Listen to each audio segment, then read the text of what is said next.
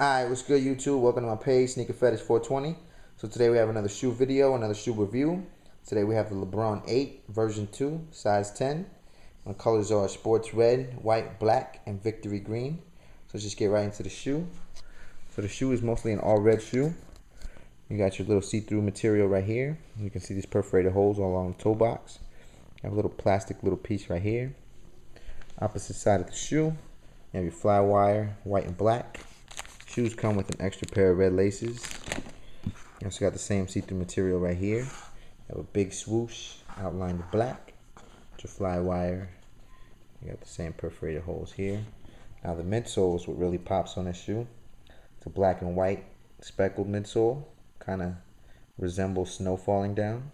So on game day, shoe was really, really popping and eye-catching to me. Really looked like snowflakes coming down the court. So you got your all green shoelace and your mesh tongue.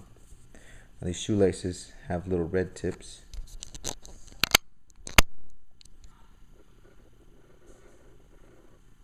You got your lion right here.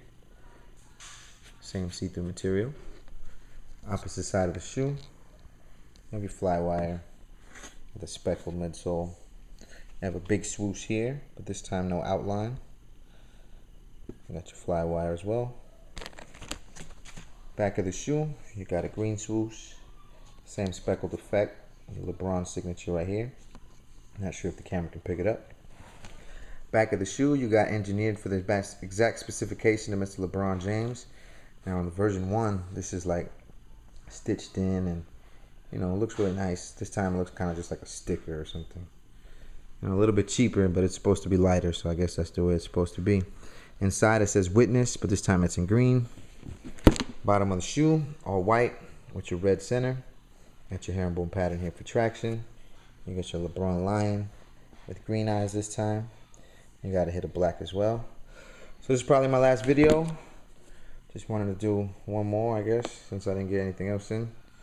So just rate, comment, subscribe, and let me know what you think. LeBron 8 Christmas. So just have a happy holidays and a happy new year. All right, peace.